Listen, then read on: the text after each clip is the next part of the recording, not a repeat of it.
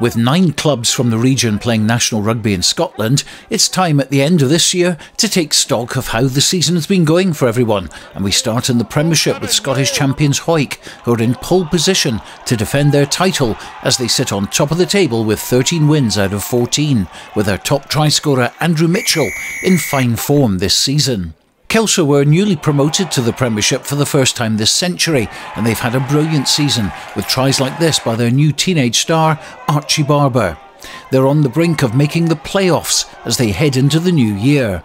Selkirk have had a mixed season with some good performances, including a win at Kelso and running Currie close on the road, but some disappointing results have kept them in the bottom half. But one of the highlights was this try from Callum Anderson, which won the game for them at Poynder Park.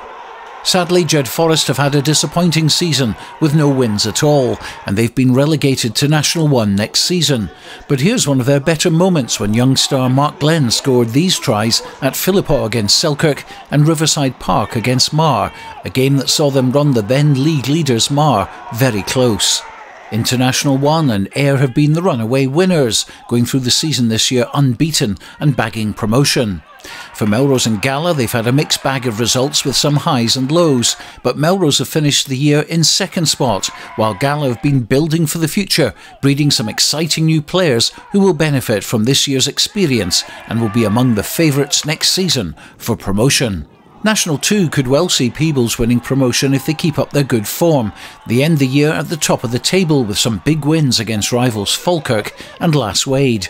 But don't rule out Newton Stewart, who could well have a say when they visit Peebles on January the 13th. At the other end of the table, Berwick are in the relegation zone, just above Aberdeen Grammar, and they'll need to get a few good results in 2024 to keep them in that division. Stuart Cameron, ITV News.